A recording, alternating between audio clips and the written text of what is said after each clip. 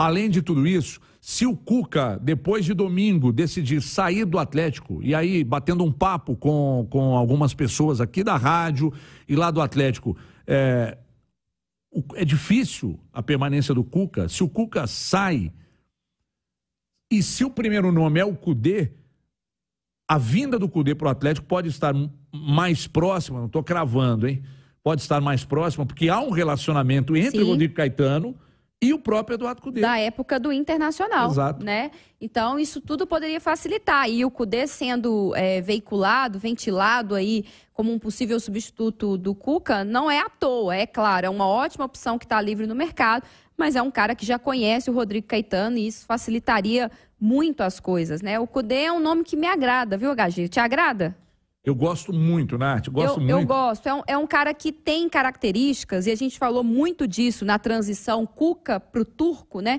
Que o Atlético não poderia perder a sua identidade, o seu padrão de jogo, aquilo que foi construído em 2022. E o Cudê se encaixa, né?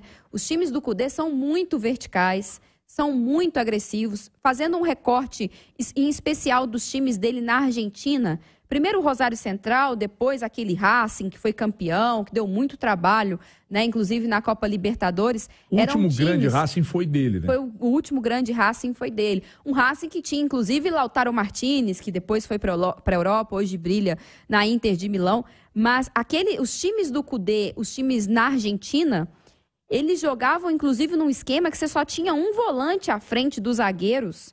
Eram times que davam muita liberdade para os laterais, eram times que tinham pontas bem abertos, jogavam geralmente com dois atacantes, ou seja, um futebol vertical, ofensivo, muito de muita intensidade também. Então, é um treinador com características que me agradam. Assim como o Voivoda também é um outro nome que me agrada.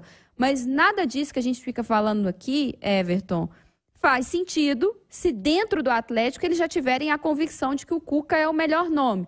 E é isso que a gente está tentando descobrir, né? Agora, se o Atlético também tem essa convicção e quer o Cuca para a próxima temporada, tá na hora de cobrar do Cuca uma definição. Nós temos uma boa fonte, né, Nath? Sim. É, sobre a insatisfação com, com o Cuca, a, com a volta do Cuca, né? Isso. A, a gente já tinha uma percepção, né?